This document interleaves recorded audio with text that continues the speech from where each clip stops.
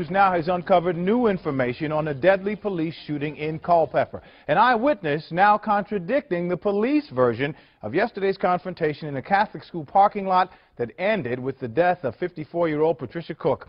Peggy Fox is in Culpeper with the latest on this investigation.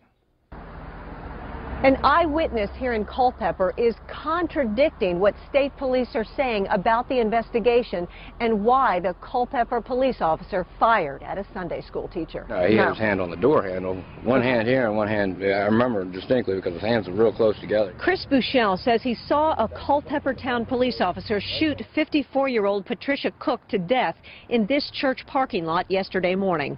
Cook was in her Jeep Wrangler. State police say Cook rolled up the window, catching the officer officer's arm inside and then dragged him. Bouchel says it didn't happen that way. He was right next to the vehicle. He had one hand on the door handle and one hand on his weapon. And she was rolling the window up, and they were exiting out of the parking lot. The window was halfway up. He said, stop or I'll shoot. And uh, I really didn't think he was going to do it.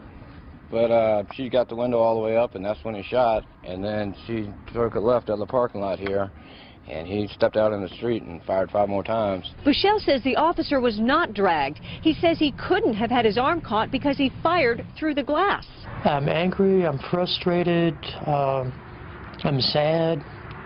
I'm fighting back tears right now. Cook's husband doesn't understand why an officer would shoot his unarmed wife multiple times. Personally, I think it may be an overreaction. Uh, uh, maybe excessive force, but I, that's, that's, I can only surmise that. He doesn't know why his wife was in the parking lot of the Epiphany Catholic School. Their couple's pastor at Culpeper United Methodist Church thinks she may have been there searching for a job to work with children because she loved her volunteer role teaching Sunday school here. We have to celebrate the good things and the parts that we had of Patton and not just what we've lost. Gary Cook is filled with questions along with his grief over his wife's killing. I wish I knew what was going on.